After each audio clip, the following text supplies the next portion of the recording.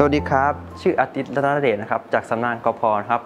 ปัจจุบันออมในแผนหุ้น 65 นะครับ ออมกับกพ30%ครับผม ตอนที่บรรจุราชการใหม่ที่จากกบขได้มาให้ความรู้นะครับ เกี่ยวกับการออมเพิ่มนะครับ แล้วก็พูดถึงการออมเพิ่มว่าณปัจจุบันสามารถออมเพิ่มได้อีก 27%ครับ จากแต่ก่อนพี่ให้ออมเพิ่มแค่ 12%ครับ ผมมองว่าการออมเพิ่มกับอปขนะครับ เป็นทางเลือกที่ดีในการออมเงินเพื่อการเกษียณครับ เพราะให้ผลตอบแทนที่ดีกว่าการฝากเงินในธนาคารครับ จึงเป็นเหตุผลที่ผมออมเพิ่ม 27%ครับผม เคยมีสุภาษิตที่พูดว่าอดเปรี้ยวไว้กินหวาน ถ้าผมอดเปรี้ยวไว้กินหวานก็คือ ถ้าเกิดผมยอมออมเพิ่มณตอนนี้เยอะๆนะครับ ในตอนที่ผมเกษียณ ผมมองว่าผมจะมีสภาพคล่องทางการเงินที่ดี แล้วก็เกษียณอย่างมีคุณภาพครับสำหรับการบริหารจัดการเงินของผมนะครับ ผมมองแบบคร่าวๆอย่างนี้ครับว่า ผมแบ่งออกว่าเป็น 3 ส่วนเลยครับ ส่วนหนึ่งก็คือเพื่อการออมครับ ก็ในที่นี้ผมออมเพิ่มกับกบขรวมแล้วเป็น 30%นะครับ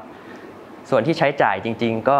50%โดยประมาณครับ แล้วก็ส่วนที่เหลือก็เป็นสำรองฉุกเฉินนะครับ ส่วนหนึ่งก็คือเป็นข้าราชการแลกรับบำนาญ ก็น่าจะได้เงินสำหรับใช้จ่ายในช่วงวัยเกษียณพอสมควร คิดว่าเงินจากกบขนี่จะเป็นส่วนหนึ่งของเงินใช้จ่ายในวัยเกษียณได้ดีสำหรับการออมเพิ่มกับกบขส่วนหนึ่งนะครับ แน่นอนอยู่แล้วเราออมเพิ่มกับกบขเพื่อที่จะได้มีการวางแผนทางการเงินเพื่อวัยเกษียณอย่างมีคุณภาพนะครับ ส่วนที่ 2 ที่ผมมองก็คือเรื่องของด้านภาษีครับ การออมเพิ่มนี้สามารถไปช่วยลดหย่อนภาษีได้ครับ สามารถลดหย่อนได้สูงสุดไม่เกิน 5 0 0แสนบาท เชิญชวนพี่ๆสมาชิกกบขนะครับให้หันมาใส่ใจเรื่องการออมนะครับ ออมเพิ่มทีละนิดนะครับ หรือว่าถ้าเกิดพี่ๆมีความพร้อมใดๆนะครับทางด้านการเงินสนใจในการออมเพิ่มครับก็สามารถออมเต็ม 27%เหมือนผมได้ครับ